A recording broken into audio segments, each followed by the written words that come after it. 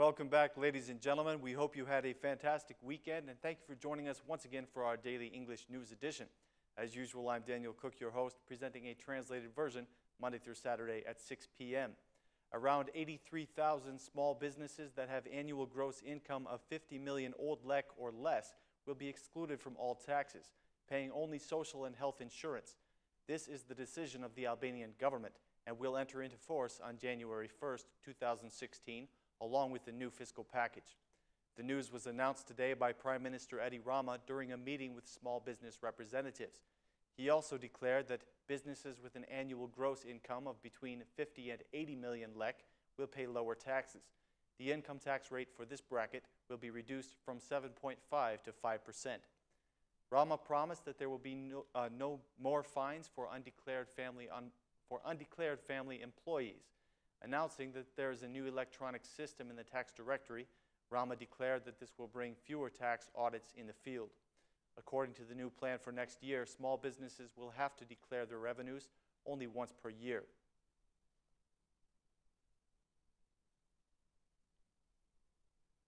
After the widespread rejection of business owners, opposition reps, and even majority members, the government has decided to soften the penalties included in the new criminal code.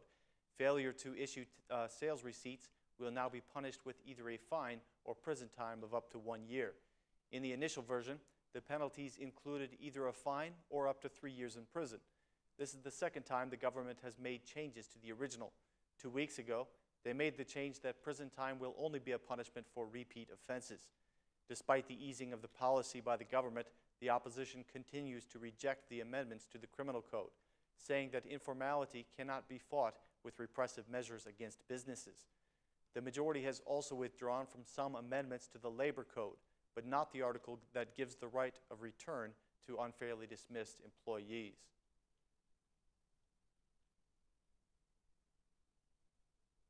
The Institute for Democracy and Mediation, with the support of the German foundation Friedrich Ebert, presented an analysis today called Strengthening the Integrity of the Public Administration in Albania. Present at the activity, the German ambassador Hoffmann encouraged the politicians to avoid making appointments to the public administration based upon political preference. He pointed out that continuous appointments and dismissals tend to create a stalemate in the administration. People should be kept in their positions for long-term periods, he said.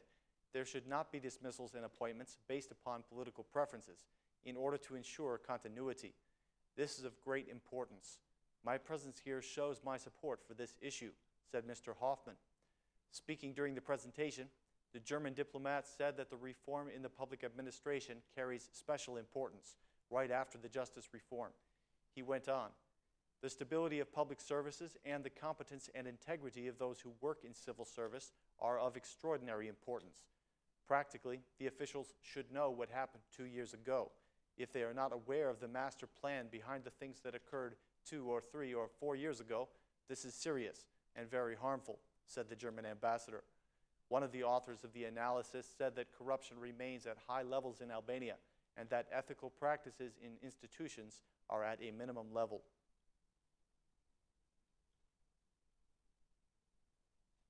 Homage was paid at the French embassy today in honor of the victims of the Paris attacks. Dignitaries of various fields conveyed their heartfelt condolences. The president of the Albanian Football Federation, Armando Duka, the captain of the national team, Lorik Cana, and the vice chairwoman of the assembly, Valentina Leskaj, were among those who paid tribute to the victims today.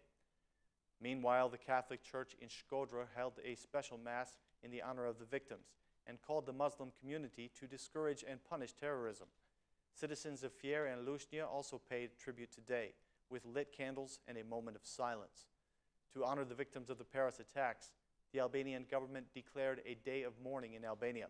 A moment of silence was observed in all state institutions at 12 o'clock, and flags were lowered to half-mast.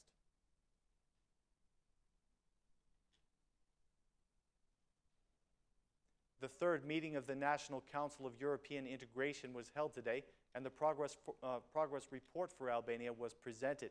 The Director for EU Enlargement, Christian Danielsson, stated that the report clearly shows that there has been steady progress in Albania. He highlighted the need for justice reform and the fight against corruption. The meeting was dominated by the harsh language of the opposition representatives, who asked the EC director whether he is aware of the concerns and cases the opposition has denounced in relation to corruption and the criminal connections of the ministers of the government.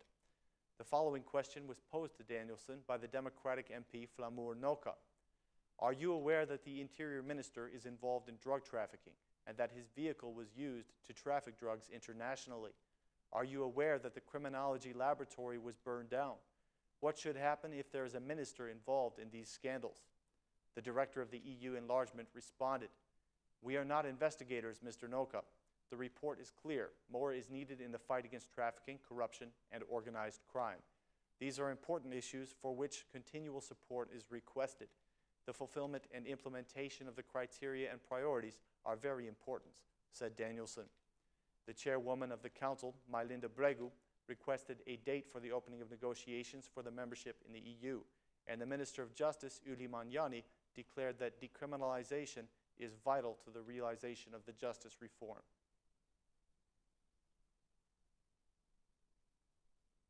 In continuation of his tour called The Time for the Citizens to Speak, the Democratic chairman Lulzim Basha met with the farmers of Selenica today.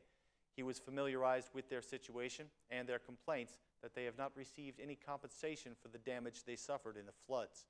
The farmers also complained that they cannot afford the cost of living, which has significantly increased. Basha presented the Democratic Party program for agriculture, which provides a budget of $100 million, the largest ever, according to Basha. He said, Our program includes the biggest budget this country has ever set aside for agriculture. Currently, it is, it is at 5 million, but we will raise it to $100 million, out of which 40 million will be used to pay the taxes for the villages. This means that you will buy your products without paying tax, uh, taxes. We will strengthen the checks and pardon the energy arrears. All farmers will be able to sell their products throughout the country said Mr. Basha to the farmers of Selenica.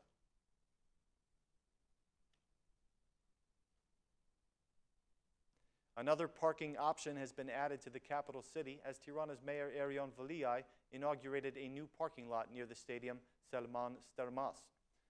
After establishing toll parking at the Italia Square, the municipality has remo uh, removed the illegal subjects that occupied the area near the stadium to put in new parking with an electronic payment system. Mayor Veliaj made the following speech. Today we are returning a square that was occupied in an illegal way. We transformed the area into public parking within a month. This is an investment made for your children. By only paying 100 lek, citizens can invest practically in a better city. With this money, we will plant more trees. We will create more bicycle lanes. This is the city we want, the city we voted for. This is the promise that we are keeping, said Mayor Veliaj.